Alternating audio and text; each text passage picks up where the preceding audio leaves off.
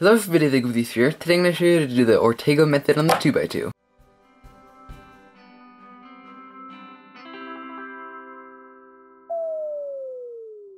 So today I'm just going to be showing you all the algorithms that you need for Ortega, but first I'll show you how to do Ortega itself. It's pretty simple once you learn how to do it, you just need to memorize some algorithms. So the way that it actually works is when you get the cube, you just solve one side. And there's no really method on doing this, you just do it as efficient as you possibly can. And do be color neutral, it really helps you. Just do whatever side you want. And you're not actually building a layer, so it doesn't really matter if you're color neutral or not. It won't actually affect your recognition that much at all. So just make a color side and it doesn't really matter, and that's the first step. And yeah, it does not need to be a layer, just a side. So that's the silly thing that non-cubers do when you tell them to solve a layer, they just solve a side. You can do that and it will be fine. That's actually kind of the whole point of this method. And then what you do from there is just find the opposite color, which obviously in this case would be blue. And then you do an OLL algorithm and get it so it's like that on this side. And then you do one algorithm called a PBL algorithm, permuting both layers, which solves everything. Okay, and first I'm going to show you the algorithm for OLL. So the goal of this step is to, you already have the white side, get the opposite side, which actually may not be yellow, it could be another side, because you're going to be color neutral.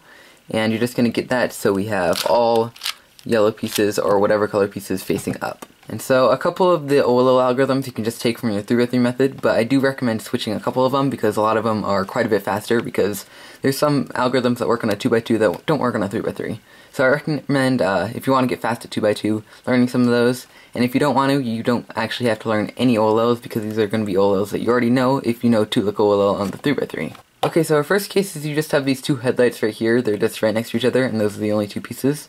You could use your 3x3 algorithm in this one, but for this one especially, I really do not recommend it because the algorithm for the 2x2 is much shorter. So you just hold it on the left like this, and do F, R, U, R prime, U prime, F prime.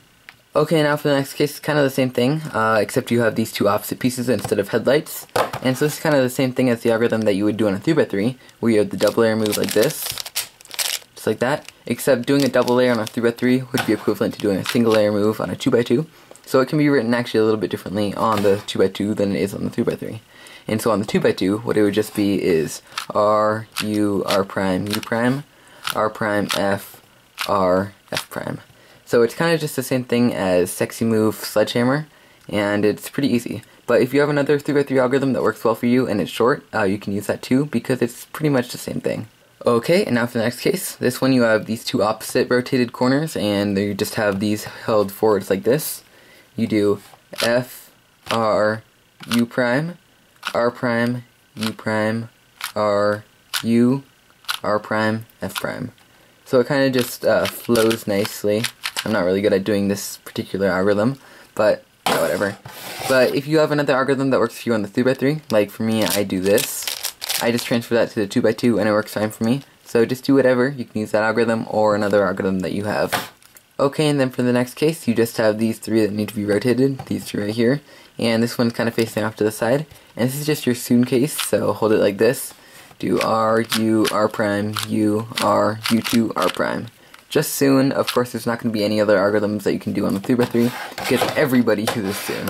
And then as you probably guessed, next comes anti-Sune, which is just the same thing but opposite. You see as pieces like this instead. And hold it up here. R, U2, R prime, U prime, R, U prime, R prime. Okay, we're almost done. So now for this case, we have these two headlights facing to that side, and we have these two pieces that are just kind of opposite. So for this one, you're not going to want to do a 3x3 algorithm because all of those are a lot longer than this one. So what you want to do is hold the headlights to the left, and do F, R, U, R prime, U prime, R, U, R prime, U prime, F prime. So just F, sexy move, sexy move, F prime. Okay, and then finally we have this case where you have headlights in the front and in the back. And so what you could do is just a normal 3x3 algorithm, where you do F, triple sexy move, F prime. That's really not recommended. So what I like to do instead is to do R2, U2, R prime, U2, R2.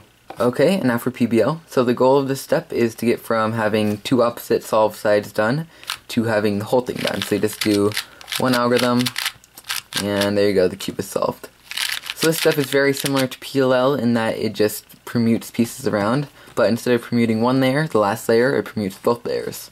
So the first case we have right here is usually people just do a T-perm on it. And so what a T-perm will do is just like on a 3x3, if you were to do a T-perm, it would switch these two pieces around and these two pieces around. But because there's no edge pieces on a 2x2, is no pieces to switch around, it just switches around these two corners. And so what the algorithm is, is R, U, R prime, U prime, R prime, F, R2, U prime, R prime, U prime, R, U, R prime, F prime. And so it seems kind of long at first, but you can do it actually pretty fast. And if you want to do another algorithm, like a J-perm, that works too. Uh, the JB perm, you can do it, I believe you line it up like this, and you do this. Same number of moves as the T-perm, so if you prefer that algorithm, you can do that too. Uh, you can just, uh, you'll probably already know these algorithms from doing PLL on the 3x3. Okay, and now for this case, so we just have these two opposite corners to switch, and so what you could do is just do a normal perm, which is also kind of long, and it just switches around these two corners and these two edges, but of course, again, there's no edges, so it just switches around these two corners, and so a lot of people just use a Y perm for this case, which is fine, like, if you just do this, if that algorithm works fine for you, you can do that, but I really recommend learning this other algorithm, it actually helps you speed up your solves quite a bit, so what it is, is it's R, U prime, R prime, U prime, F2, U prime, R, U, R prime, D, R2. Okay, now this is where things start to get a little bit different.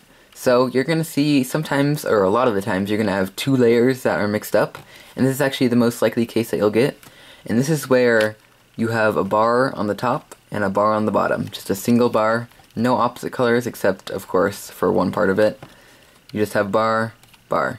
And so these aren't always going to be the same colors. Sometimes they are, sometimes they aren't. But what you're going to do for this algorithm is just do R2, U prime, B2, U2, R2, U prime, R2.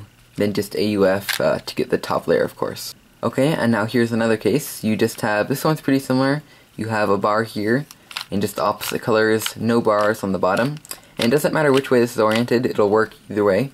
And so just hold the bar right here at the top and do R, U prime, R, F2, R prime, U, R prime. And then of course AUF. Okay, and now the easiest case, sometimes it'll be aligned and look like a checker pattern, and that's pretty cool if you're just solving a 2x2 and then BAM! Checker pattern. but a lot of the times it'll look like this, and you can just recognize it by being all opposite colors, or sometimes it'll even look like stripes. And so no matter how you have it, let's just say it's like this, you just do R2, F2, or I just prefer B2, R2. That's just the move for a checker pattern, so if you want to think about it as doing a checker pattern in reverse, just do that. So just R2, F2, R2. That's just a checker pattern, the first part of it at least. So that's the easiest case, just do those couple moves, it's really intuitive.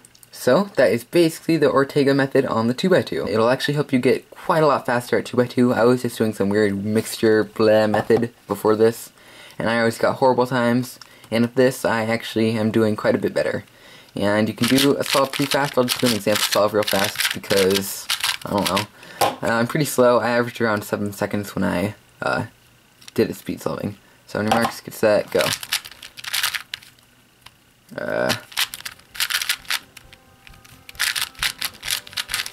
there you go. So that's how you execute everything. Uh, of course, I'm kind of slow. Uh, but yeah, so that's the Ortega method. Uh, if you have any questions or comments, leave those in the comments below. If you want to see more videos like this, leave a suggestion down in the comments. I'll look at all those, and if it's a good suggestion, I'll make it. And that's how I get my video ideas most of the time. Uh, if you like this video, if it helped you at all, leave a like down below. And if you uh, want to see more videos like this in the future, uh, subscribe if you want to be notified when they come out. And I'll see you guys next time.